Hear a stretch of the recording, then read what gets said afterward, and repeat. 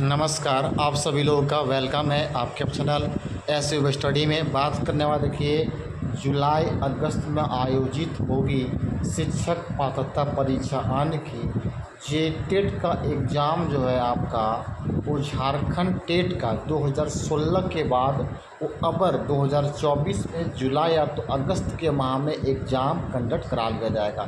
Video को last तक watch कीजिएगा, बहुत इंपॉर्टेंट वीडियो हो। कितना वैकेंसी इसके बेस्ट पे आएगा, वो भी बताऊँगा मैं वीडियो के लास्ट तक, ठीक है? तो कंटिन्यू वीडियो को वॉच ज़रूर करते रहिएगा, ठीक है?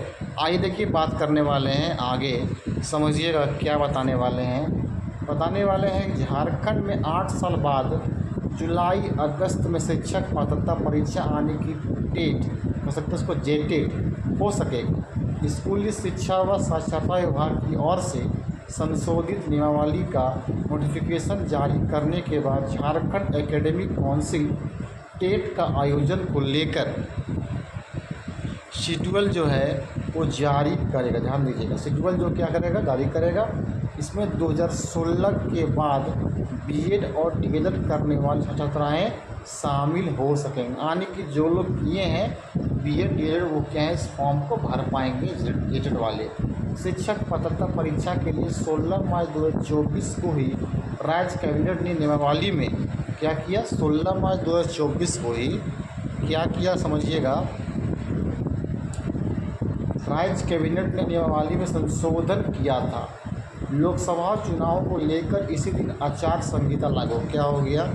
आचार संहिता जो है, लग जाने के कारण, समझिएगा क्या हो गया?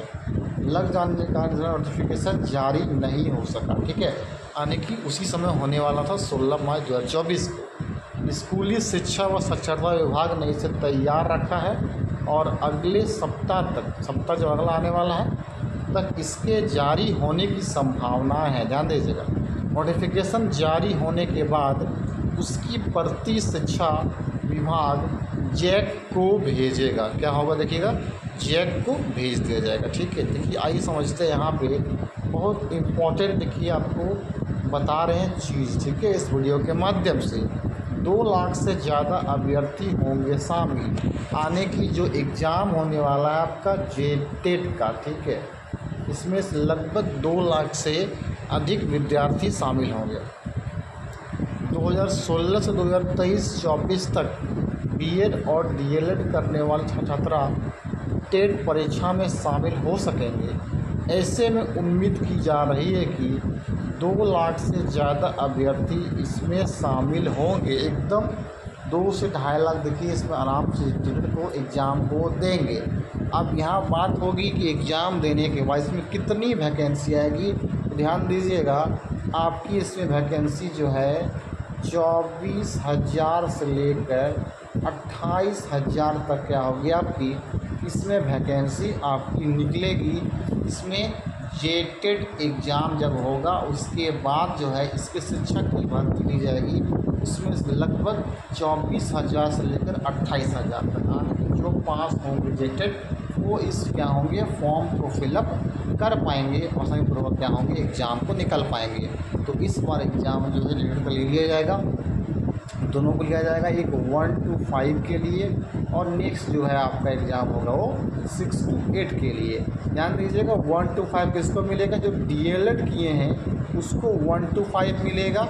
और जो देखिएगा, जो बी एड किए जो ऐसे कैंडिडेट जो हैं वो बी एड किए हैं, उनको सिर्फ़ और सिर्फ़ भरने के लिए सिक्स टू एट मिलेगा, वो अब ख़त्म हो गया, ठीक है? आने की जो एग्ज़ाम देना है आपको जीटेट का बी एड पास आउट हैं तो आप सिक्स टू एट के फॉर्म को क्या होंगे, भर पाएँगे। जो डी किए हैं वन टू फाइव के अलावा यहाँ देखा जाए तो जिनका ग्रेजुएशन पास है, उन्हें सिक्स टू एट भरने का मौका दिया जाएगा। तमाम चीज़ें आपको समझ में आ गया होगा तो बहुत ही गुड न्यूज़ है कि वैकेंसी आपका जो है अब जेटेड की आ रही है। तो आप जो है, वो तैयारी में लग जाए जेटेड एग्ज़ाम को, ताकि आप बढ़िया से पुख्ता चीज़ों को कर लें। सभी चीज़ें आप समझ में आपको आ गया होगा। थैंक यू लाइक शेयर और सब्सक्राइब कर देंगे।